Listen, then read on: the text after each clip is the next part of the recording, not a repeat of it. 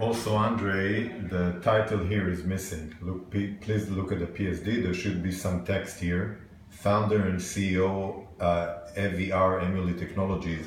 It's missing. Thank you.